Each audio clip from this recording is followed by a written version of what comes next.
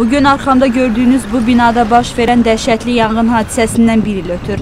İndi baxanda yandığını belə təsəvvür etmək olmur, ancaq keçən ilin bu günü burada dəhşət yaşanmışdı.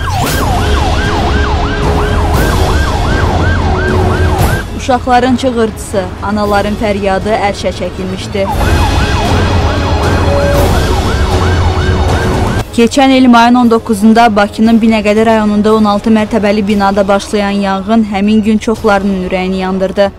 Qısa müddətdə bütün ölkəyə yayılan xəbərlə hamı sarsıldı. 4-ü az yaşlı olmaqla 15 nəfərin ölümün, 40-dan çox insanın xəsarət alması ilə nəticələnən hadisəyə binanın penoplast tərkibli yanğına həssas üzlüyü səbəb olmuşdu. Baş verən yanğınla əlaqədar Prezident İlham Əliyevin sərəncamı ilə Dövlət Komissiyası yaradıldı. Hadisənin baş vermə səbəbləri araşdırıldı və nəticələrinin aradan qaldırılması üçün tədbirlər həyata keçirildi. Yanğın zamanı Azərtacın çəkiliş qrupunun operativ olaraq hadisə yerindən çəkdiyi kadrları yerli telekanallarda, eləcə də xarici mediada nümayiş olundu.